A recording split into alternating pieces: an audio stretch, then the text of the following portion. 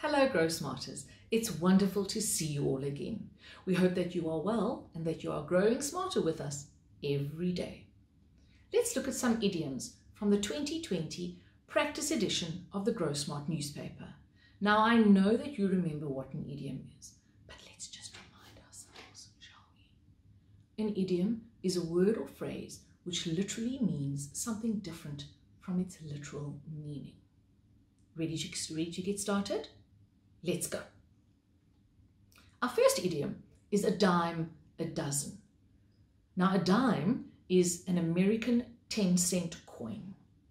And way back during the 1800s, the phrase was used in its literal meaning, referring to items that really cost 10 cents for a dozen of those items. So if you wanted to buy 12 eggs, which is a dozen eggs, you would pay 10 cents for it. Now remember, 10 cents is an American dime. So therefore, a dime, a dozen.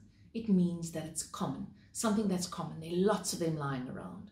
So street vendors are a dime a dozen in the touristy areas of the city. Our next idiom, call it a day. Call it a day. I'm tired, it's getting late, let's call it a day. To stop working on something. I think we have done enough work today. I'm feeling tired now. Let's call it a day. But please don't call it a day yet, Grow Smarters, because we still have a few more idioms to get through. Our next one is easy does it. Easy does it. Slow down. Relax. Easy does it like a tortoise. To make a long story short means instead of telling the long story where people might get bored and it might take up too much of their time, we just give them a shortened version of the story.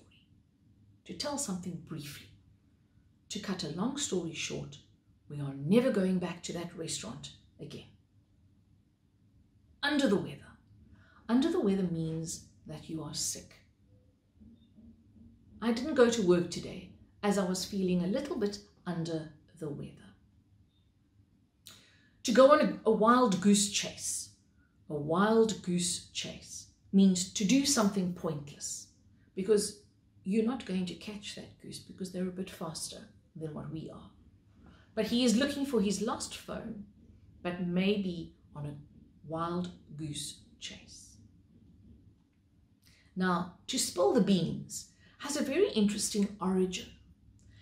It comes from the elections way back in ancient Greece, where each council member would vote with a white bean, which means yes, or a brown bean, which means no, and this would be a secret because they would put it in a jar and no one would, would know which way the members were voting.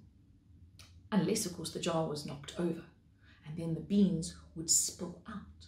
And then everyone could see the number of white yes votes to the brown no votes. So spill the beans would mean to give away a secret. Trust her to spill the beans. She never could keep a secret.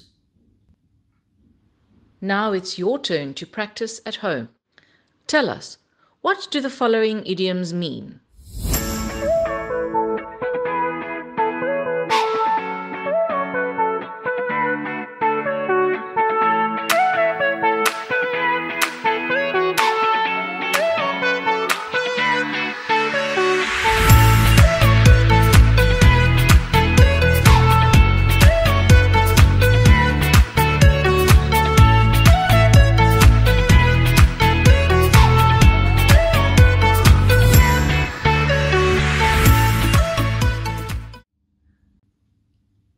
And with that, we are going to call it a day.